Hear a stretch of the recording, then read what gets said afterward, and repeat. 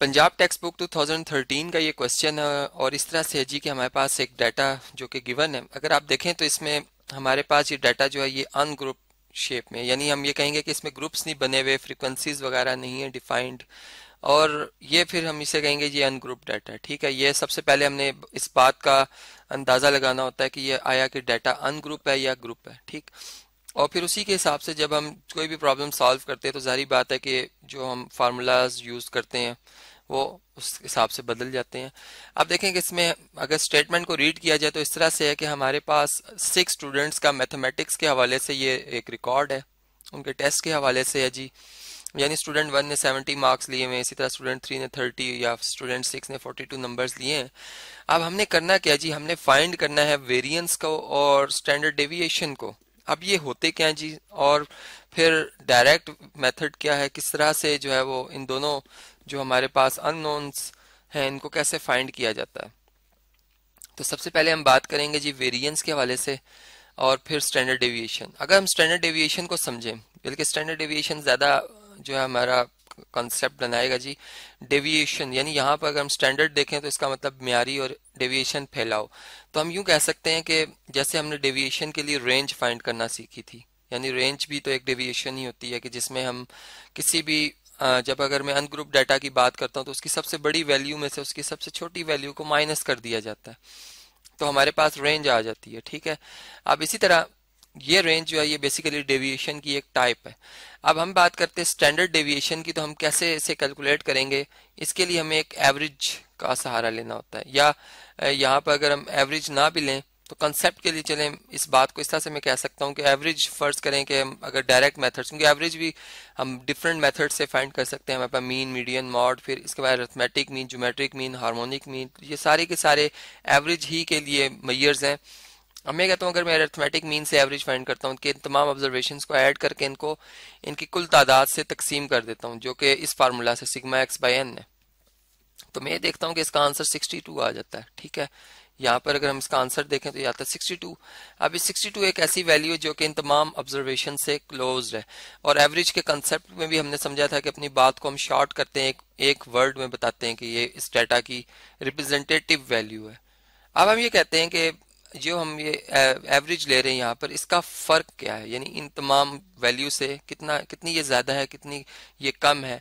अगर हर हर वैल्यू से वो फ़र्क देखें तो उस फ़र्क को डेविएशन कहा जाएगा, हर हर वैल्यू से। और फिर उसका अगर सम कर लिया जाए तो टोटल डेविएशन आएगी और फिर अगर उसको, जो है उसको अगर इन्हीं की कुल तादाद से डिवाइड कर दें तो ये एक तरह से जो डेविएशन आएगी, ये भी हमारे पास, यानी एक डेविएशन है और फिर स्टैंडर्ड डेविएशन यानी डेविएशन का जो कंसेप्ट है वो हमें यहाँ से पता चलता है कि हम एक सिंगल वैल्यू में ये बताना चाहते हैं कि इस डाटा की एवरेज वैल्यू अपनी इन न्यूमेरिकल वैल्यू से जो कि ऑब्ज़र्व ऑब्जर्वेशन में आई इनसे कितनी दूर है? ठीक है? वो एक वैल्यू हमें बता दी था अगर फ़र्ज़ करें वन जवाब आता है। तो हम ये कहेंगे कि या वन अगर जवाब आता है तो हम ये कहेंगे कि जो स्टैंडर्ड डेविएशन है, यानी या हम यूँ कहेंगे जो अरेथमेटिक मीन है इस डाटा का उसकी हर हर वैल्यू से जो एक एवरेज डिस्टेंस है वो वन यानी किसी से एक यूनिट आगे हो तो एक, किसी से एक यूनिट पीछे है। ठीक है इस तरह से हम बात करेंगे। और फिर अगर स्टैंडर्ड डेविएशन का स्क्वायर कर लिया जाए तो वेरिएंस आ जाता है। अब वेरिएंस को बजाय कि हम इसको इतने बड़े स्पेलिंग को लिखें हम यहाँ पर एक सिंपल एक एब्रीवेशन या यहाँ पर हम एक सिंबल यूज़ कर लेते हैं एस स्क्वायर या इसको हम सिग्मा इस तरह का एक सिंबल होता है जिसके ऊपर स्क्वायर डाल दिया जाता है। तो ये, इससे भी इसको रिप्रेजेंट किया जाता है, लेकिन मोस्टली जो बुक्स हैं वो एस स्क्वायर से रिप्रेजेंट करती है, इसलिए मैं भी ज़्यादातर इसी को एस स्क्वायर से रिप्रेजेंट करूँगा। इसी तरह स्टैंडर्ड डेविएशन जिसको हम एस डॉट डी भी कहते हैं, इसको फिर एस से रिप्रेजेंट किया जाता है। और ये दोनों पॉजिटिव वैल्यूज़ होती हैं। ये पॉजिटिव होती हैं और चूँकि पॉजिटिव है तभी एस स्क्वायर चूँकि पॉजिटिव है और पॉजिटिव नंबर का जब स्क्वायर रूट लिया जाता है, तब भी उसकी वैल्यू रियल में एग्जिस्ट करती है। तो इस तरह से स्टैंडर्ड डेविएशन और वेरिएंस दोनों क्या जी? पॉजिटिव ही होते हैं, ठीक है? तो अब हम देखते हैं कि हम कैसे इन्हें कैलकुलेट करते हैं डायरेक्ट मेथड से। देखें, हमारे पास डायरेक्ट मेथड के लिए हम यूँ करते हैं कि जो ऑब्जर्वेशन गिवन है, जैसे 70 है 60 है 30 है, ठीक है? जो जो ऑब्जर्वेशन आ रही हैं, मैं उनको एज इट इज़ लिख रहा हूँ। 90 है 80 है, और 42 है। अगर इन तमाम का सम कर लिया जाए तो ये हमारे पास इनका सम जो बनता है, ये 372 बन जाता है।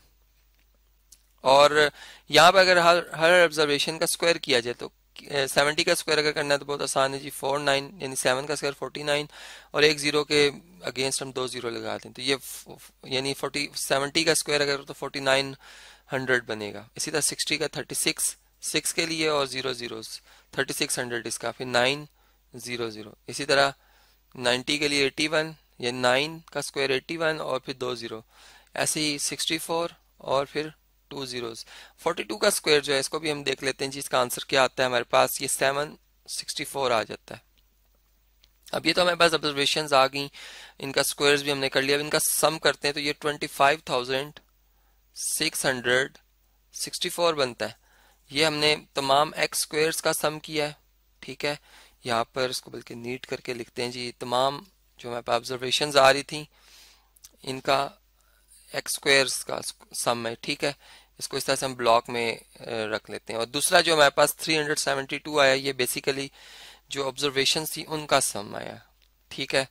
अब ये हमने अब जो वैल्यूज़ अभी यहाँ पर लिख ली हैं, इसको अब हम ऐसा करते हैं कि जी हमारे पास जो फार्मूला है स्टैंडर्ड डेविएशन को या जो वेरिएंस को फाइंड करने के लिए है।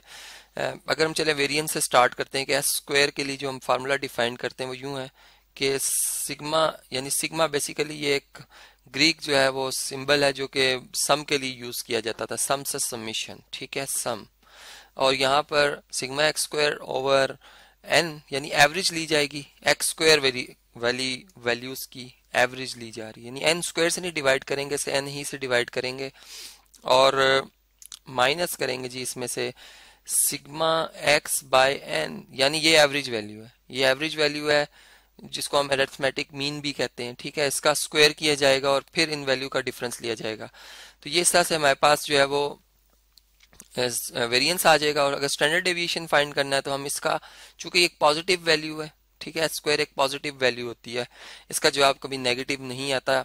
इसका जवाब ज़ीरो यानी बहुत हुआ तो ज़ीरो आएगा ज़ीरो से कम नहीं आ सकता, ठीक है? तो इसलिए स्क्वायर रूट इसका एग्जिस्ट करता है और जब हम पॉजिटिव स्क्वायर रूट लेंगे इसका तो हमारे पास जो ये आंसर आएगा, इस इस इस वैल्यू को मैं जो यहाँ पर लिखी, इसी को एज इट इज़ यहाँ पर हम स्क्वायर रूट के अंदर लिख लेंगे तो ये हमारे पास स्टैंडर्ड डेविएशन आ जाएगा, ठीक है? अभी हम देखते हैं कि हमारे पास हमें किन किन वैल्यूज़ की ज़रूरत पड़ेगी? जैसे चले हम वेरिएंस के हवाले से बात करते हैं एस स्क्वायर के हवाले से, कि एस स्क्वायर जो हमारे पास है, किसके इक्वल है? जी ये अभी मैंने कॉपी किया था, इसी को मैं अगेन लिखता हूँ यहाँ पर। इसके बराबर है। अब इनकी जो वैल्यूज़ हैं, अगर इसमें सब्सिट्यूट कर दी जाए, यहाँ से सब्सिट्यूट करते हैं, इससे पहले के हम इन्हें सब्सिट्यूट करें, यहाँ पर हम काउंटिंग भी करते हैं कि हमारे पास नंबर ऑफ़ ऑब्जर्वेशन कितनी है। अगर आप काउंट करें तो one two three four five six है। सिक्स ऑब्जर्वेशन है ठीक है? तो यहाँ पर हम लिख भी देते हैं कि हमारे पास सिक्स ऑब्जर्वेशन अब अगर इन वैल्यूज़ को अगर हम इस फार्मूला में सब्सिट्यूट करते हैं तो एस स्क्वायर जो है वो इक्वल टू आ जाएगा sigma x square sigma x square की वैल्यू हमारे पास क्या थी जी? 25,664 ठीक है? इसको हम डिवाइड कर देंगे सिक्स से। माइनस इसी तरह हमारे पास ये 372 आ रहा है। इसका डिवाइड बाई सिक्स और इसका स्क्वायर किया जाएगा। अब जो हमारे पास फ़र्स्ट वैल्यू है इसको अगर हम कैलकुलेट करें तो ये हमारे पास इसका जवाब आता है four two double seven point three three three three इस से ये सोन चलता जा रहा है। जबकि इसलिए चले हम इसको थ्री थ्री पे राउंड ऑफ़ कर लेते हैं और फिर माइनस करना है हमने। यहाँ पर इस, इसको अगर हम डिवाइड करें तो सिक्सटी टू बनता है और सिक्सटी टू का अगर स्क्वायर किया जाए तो थ्री एट डबल फोर बन जाता है। अब हम अगर इन दोनों वैल्यूज़ का डिफरेंस लेते हैं तो स्टैंडर्ड सॉरी जो वेरिएंस है एस स्क्वायर वेरिएंस जो है हमारे पास, ये आ जाता है four hundred thirty three point three three three three ठीक है? और अब इसके जो यूनिट होते हैं, वो बेसिकली वही होते हैं जो डाटा के होते हैं। यहाँ पे अगर बच्चों के मार्क्स के हवाले से बात की जा रही है तो स्क्वायर मार्क्स आ जाएँगे, ठीक है? यानी स्क्वायर्स के हवाले से हम बात करें। और अगर हम इसका स्क्वायर रूट ले लेते हैं, यहाँ पर लिख लेते हैं जी स्क्वायर रूट अगर इस वैल्यू का ले लेते हैं तो ये हमारे पास स्टैंडर्ड डेविएशन आ जाएगा four thirty three point three three का। यहाँ पे कैलकुलेटर अवेलेबल है जी। यहाँ पर हम four thirty three point three three का स्क्वायर रूट ले रहे हैं, जो कि ट्वेंटी पॉइंट एट टू आ जाता है। S equal to twenty point eight two तो ये हमारे पास मार्क्स के हवाले से जो है वो इसकी वैल्यू आ जाएगी। स्टैंडर्ड डेविएशन की यहाँ पर हम लिख देते हैं जी मार्क्स तो ये था जी हमारा स्टैंडर्ड डेविएशन और वेरिएंस का कंसेप्ट और फिर उसको, उसके हवाले से एक अनग्रुप डाटा को हमने, उसका स्टैंडर्ड डेविएशन और उसका जो वेरिएंस है वो हमने कैलकुलेट किया।